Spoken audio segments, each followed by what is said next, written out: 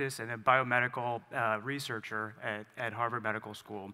And we use the tools of data science to help us figure out uh, robust associations between new biological phenomena and disease and risk.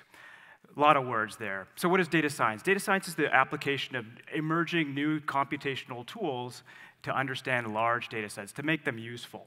And I really got first exposed to this, this, these, this practice of data science when I was actually not in academia or in, uh, at school, actually, but in industry and it was during the dawn of the Human Genome Project.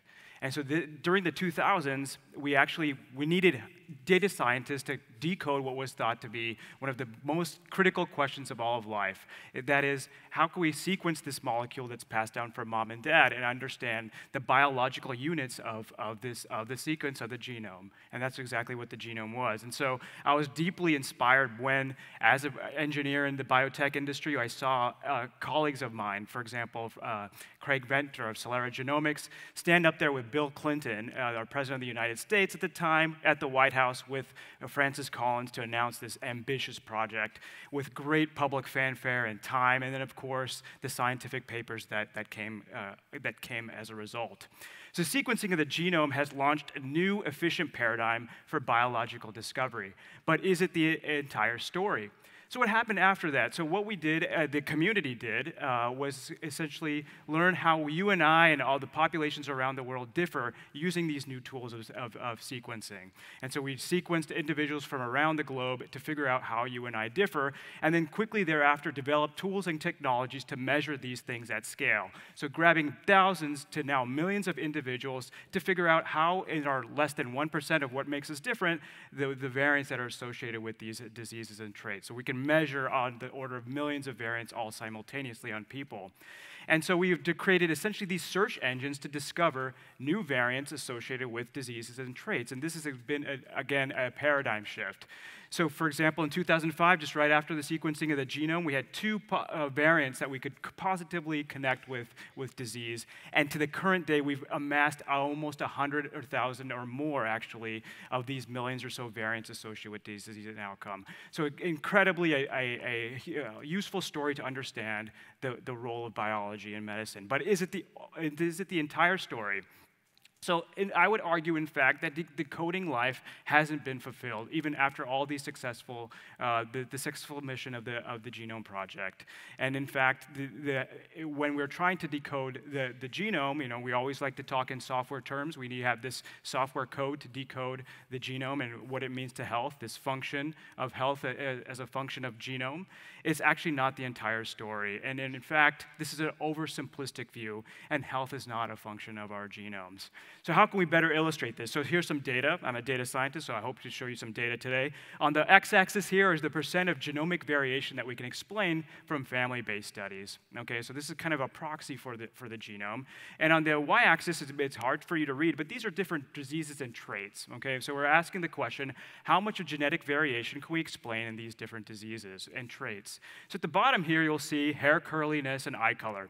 So, if I took a, a magic algorithm, I put, put you in a, your genomes in a sequencer and ask the question, can I predict your eye color or hair curliness? I think I, I, probably could with very high confidence using your genome. But other things that we care about today, like things like uh, type 2 diabetes, like heart disease, uh, uh, like longevity, doesn't really, can't be really predicted, even with the most fanciest AI technologies with your genome, and things like cancer, even worse. Okay, so where are we? What is the rest of the story here? Where is the rest of the variation in, in uh, phenotype in disease? And this is the central question I think we need to address after this uh, ambitious genome project. And on top of that, actually, uh, well, there's very few, there's now emerging evidence to, to support the, the modification of the genome. In large scale, we cannot change our genome. So this, this is another issue. Even if we did know what were the risk factors for, for prediction, we still can't change those.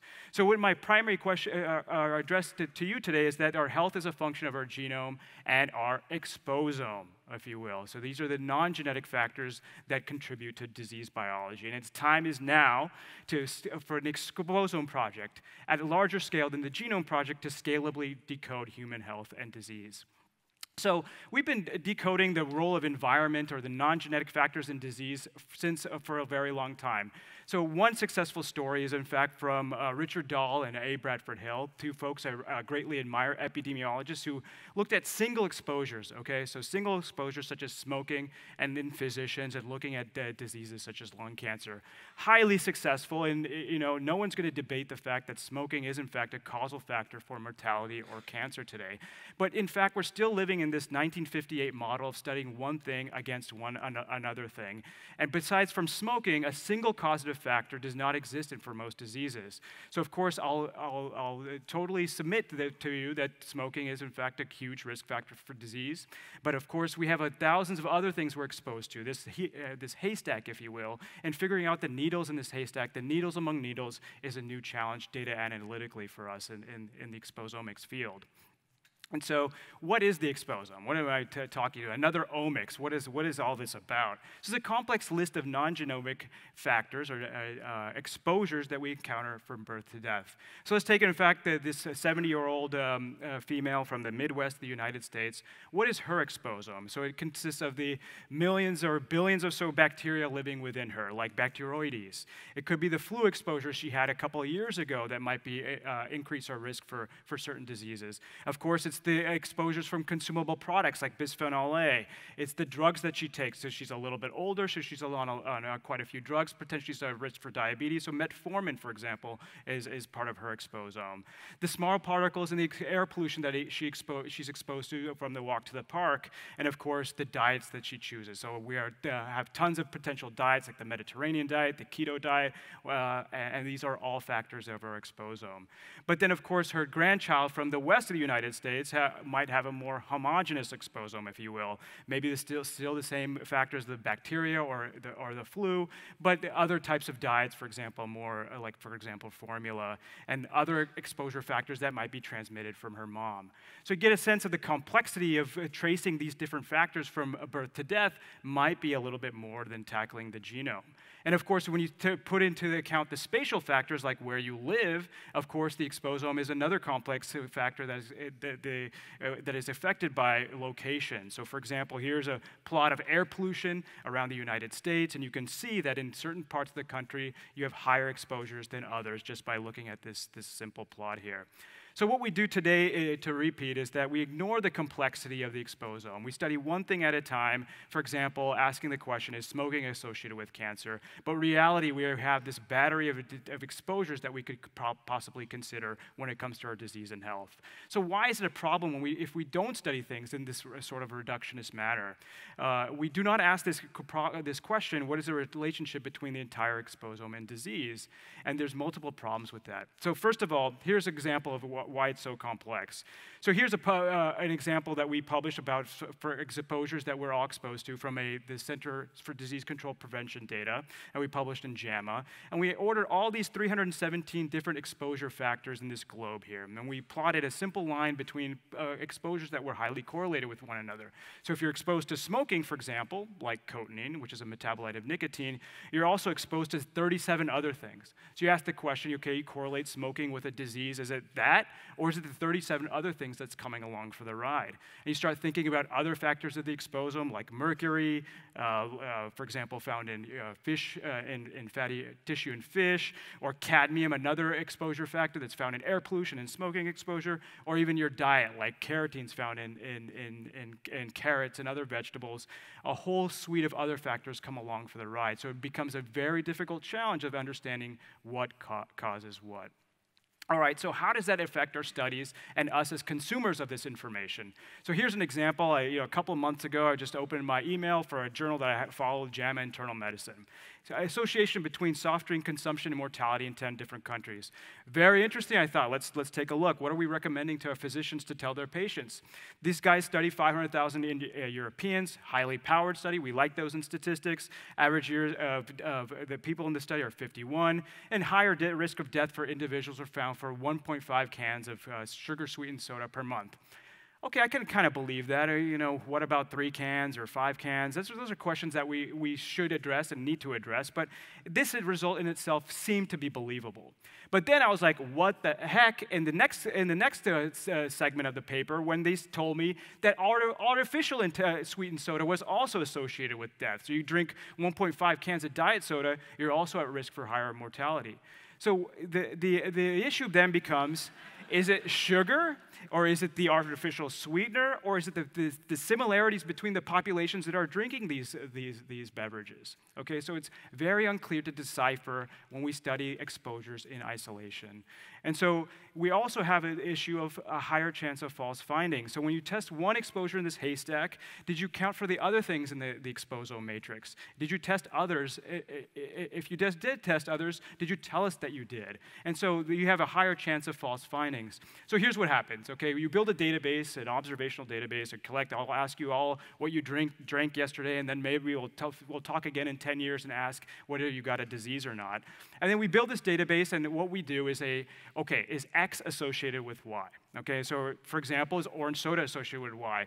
I'll put it into my handy dandy cal calculator and p-value significance comes out and it says, ah, no. Okay, I'll move on to the next one. Transparent soda, no. So go move on to the next one. Green soda, no. But getting there, the p-value is creeping up to significance. Blue soda, uh, not really. So let's move back to vanilla soda. Okay, nah. And then diet soda finally. Let's put it all together and say, okay, yeah, stop the presses. It's significant? I can publish my PhD thesis.